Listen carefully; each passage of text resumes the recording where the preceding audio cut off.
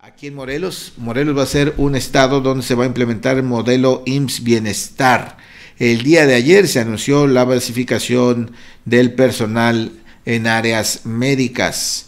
El gobierno del estado formalizó justamente la basificación de personal a los servicios de salud IMSS Bienestar Morelos este jueves, con lo que se avanza en la consolidación de este modelo para la operación del sistema de salud, que dará atención médica universal, gratuita y preventiva a la población. Con esta transformación se tienen considerados cuatro puntos clave para garantizar su funcionamiento y son abasto de medicamentos, contratación de personal médico, contratación de personal de enfermería y contratación de especialistas, así como mejoramiento de infraestructura y basificación del personal que labora en el sector.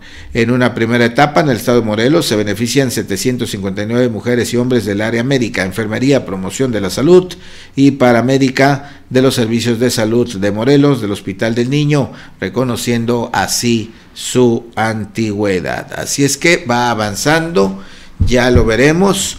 Morelos forma parte de las 23 entidades del país que se adhirieron a este modelo IMSS Bienestar. En este estado se proyecta otorgar atención a más de 1.200.000 personas no derechohabientes.